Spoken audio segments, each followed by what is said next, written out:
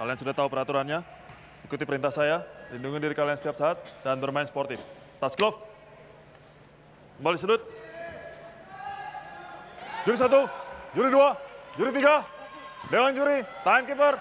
Fighter ready, fighter ready, fight!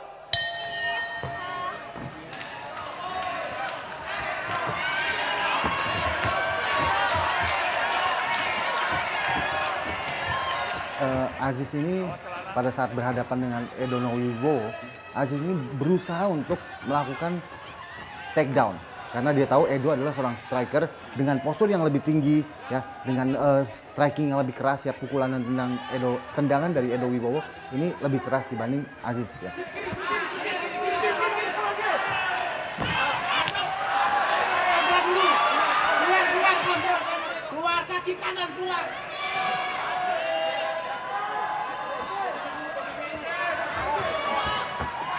Setiap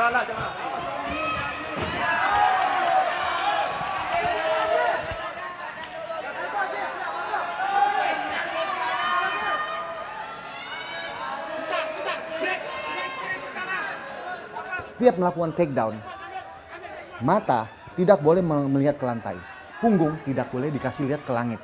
Itu prinsipnya takedown. Jadi kalau kita mau melakukan takedown, bukan badan membungkuk, tapi level pinggang yang turun, kaki melakukan squat.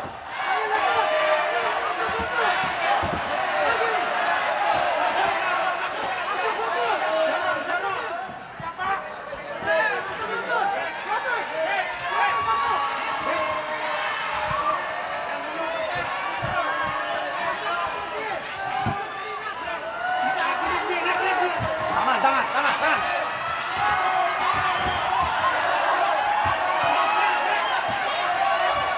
Satu menit.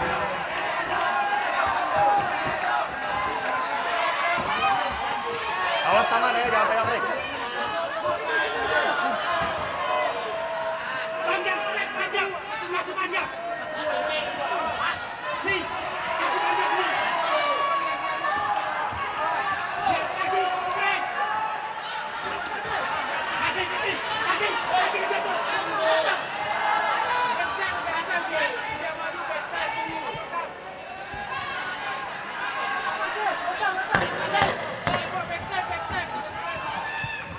Hey!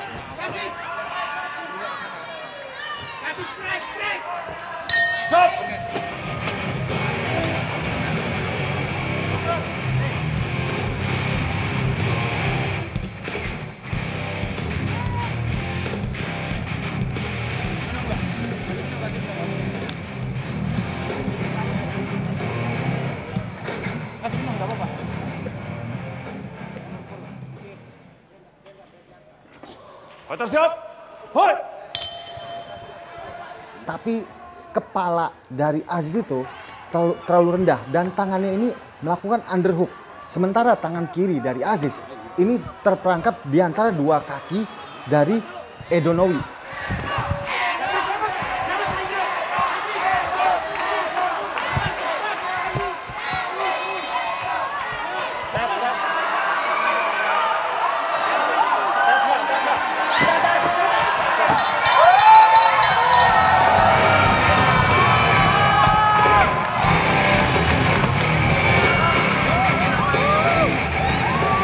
Edo tidak menyia-nyiakan kesempatan, langsung dia mengkaitkan kaki kirinya dan melakukan simpul triangle choke.